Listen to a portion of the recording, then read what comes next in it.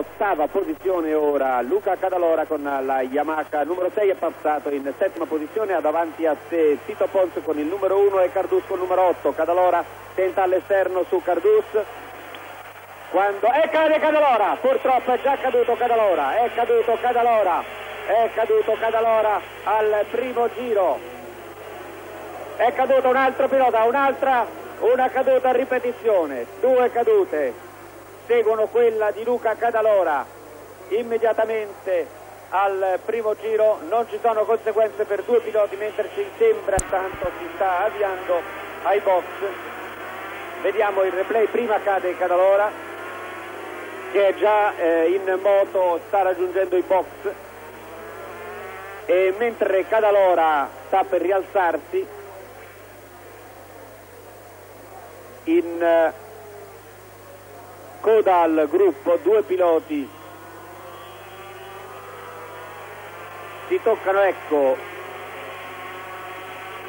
ma soprattutto il secondo che arriva addosso a quello che è accaduto per primo. Riusciremo spero a leggere prima o poi i numeri di gara mentre vedo quello di, di, quello di Barchista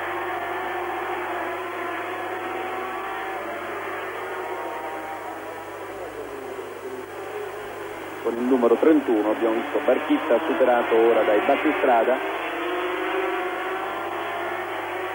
E cade Garriga cade Garriga. Peccato. Peccato nello...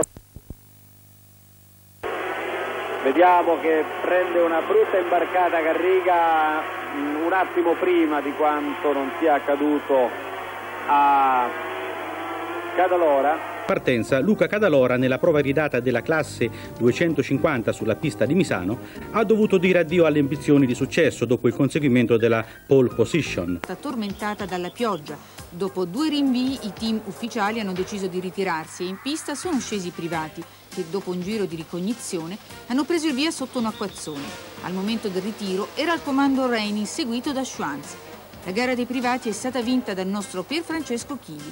Nelle 250 si è imposto lo spagnolo Pons che guida la classifica complessiva con 18 punti di vantaggio su Rouja e 22 su Cadalora. Nella classe 80 successo di Jorge Martinez davanti a Gabriele Gnani. Prima di passare al tennis ricordiamo la splendida vittoria di Ezio Gianola nella gara delle 125 disputata ieri. Il pilota italiano è il leader della classifica.